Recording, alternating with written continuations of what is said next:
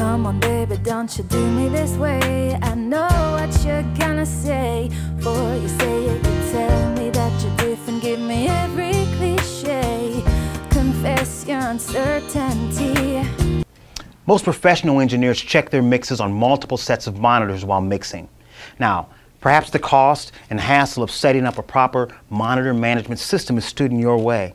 Well, Fast Track C-Series interfaces give you the ability to switch between multiple sets of monitors, so you'll get polished mixes that will translate across a variety of systems without the hassle, expense, and space requirements of extra gear on your desktop.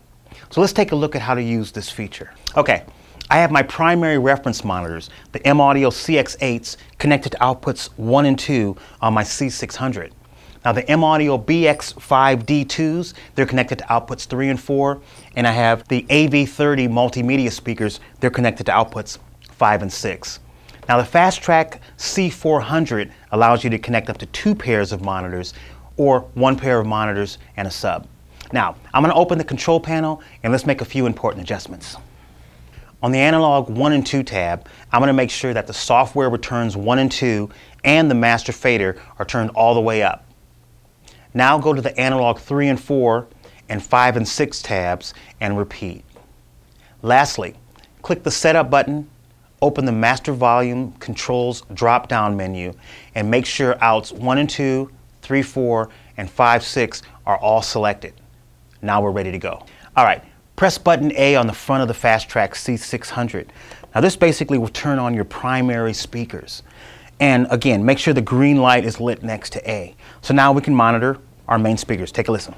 Come on, baby, don't you do me this way. I know what you're gonna say. For you say. Okay, easy enough. Now, when you're ready to hear your secondary monitors, you can press A and B at the same time and it will immediately switch to the second set of speakers. Here's what I mean.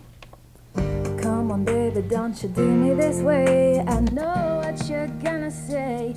For you say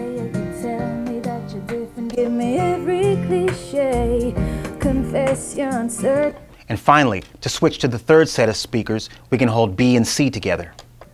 Now, by auditioning your music on different kinds of speakers that your listeners may use, you'll make sure that your mixes really translate well to every environment. I'm Brian Carter. Thanks for watching.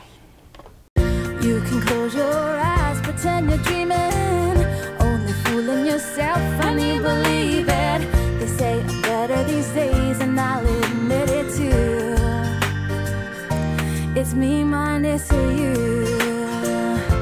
Oh, yeah. Kinda strange the things are happening to me. Almost like I got this.